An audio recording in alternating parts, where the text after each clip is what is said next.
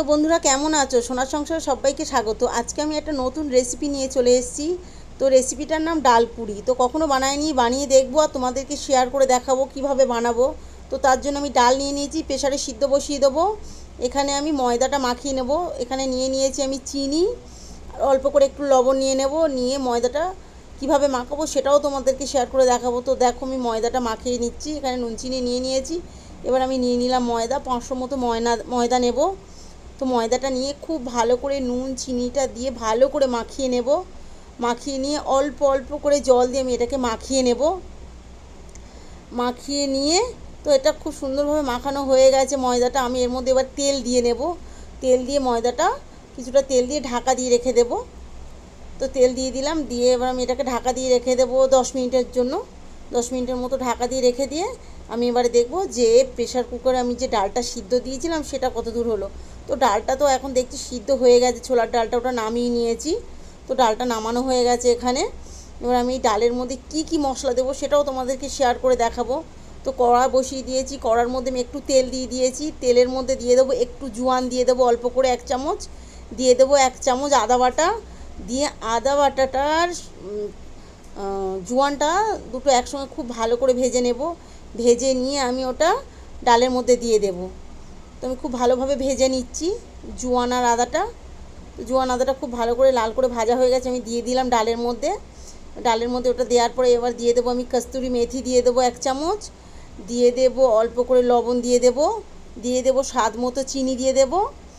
আর একটু লঙ্কা গুঁড়ো দেব। দিয়ে দেবো এক চামচ হিং। দিয়ে খুব ভালো করে আমি পুরটা বানিয়ে নেব, মাখিয়ে নেব। তো পুরটা খুব ভালোভাবে আমি বানিয়ে নিচ্ছি। তো পুরটা আমার খুব ভালোভাবে মাখানো হয়ে গেছে।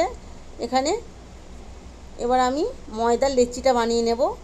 ময়দার লেচিটা বানিয়ে নিয়ে এবার কীভাবে পুরটা ভরবো ময়দার মধ্যে সেটাও তোমাদেরকে শেয়ার করে দেখাবো। তো দেখো পুরটা আমাদের এখানে মা ভালোভাবে মাখানো হয়ে গেছে। এবার আমি ময়দার লেচিটা বানিয়ে নিচ্ছি। ময়দার লেচিটা বানিয়ে কীভাবে ভরে, কীভাবে বেলবো তোমরা দেখতে থাকো এটা। এটা খুব সাবধানে মানে বেলতে হবে যাতে ফেটে না বেরিয়ে যায়। তো এই ময়দাটা খুব সুন্দর সফট হয়ে গেছে মাখানো। এবার আমি এটাকে লেচি কেটে নিচ্ছি। লেচি কেটে নিয়ে কীভাবে ভরবো তো তোমরা দেখো কীভাবে ভরছি। ভরে নিয়ে খুব আস্তে করে আলতো করে বেলতে হবে যাতে ফেটে না বেরিয়ে যায়। তো দেখো বেলে নিচ্ছি। বেলে এই, এইভাবেও ভরা যায়, আবার গোল আকারেও ভরা যায়। তো তোমরা যেভাবে ভরতে পারো। আমি দুরকমভাবে দেখিয়ে দিচ্ছি কীভাবে পুরটা ভরা হয়।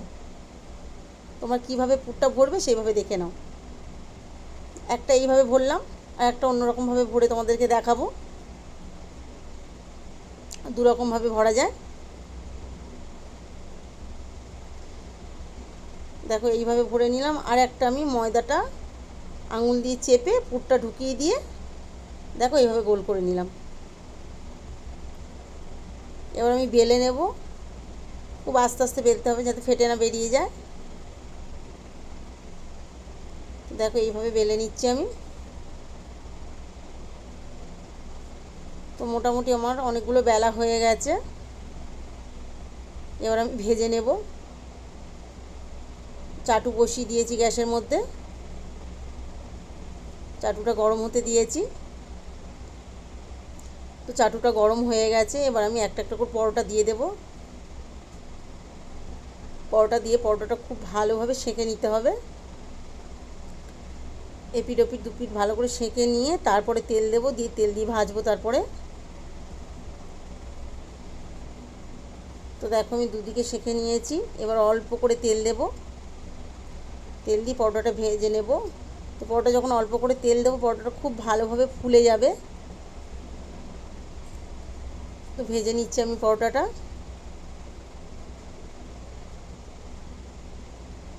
তো কয়েকটা ভাজা হয়ে গেছে। আর এই দুটো ভেজে নিচ্ছি, দেখো। বেশ লাল লাল হয়ে যাচ্ছে।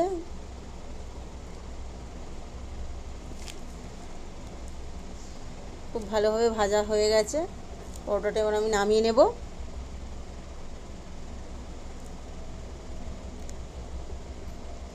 এই পরোটাটা অবশ্যই তোমরা বাড়িতে বানিয়ে খেও পরোটাটা খুব সুস্বাদু, খুব টেস্টি হয়।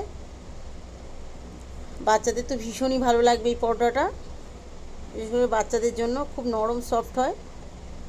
এই পরোটাটার পরোটা রেসিপিটা তোমাদের কেমন লাগল? ভালো লাগলে একটা লাইক করো শেয়ার করো কমেন্ট বক্সে লিখে জানিও। পারলে একটা সাবস্ক্রাইব করে দিও। সবাই ভালো থেকো, সুস্থ থেকো, সাবধানে থেকো।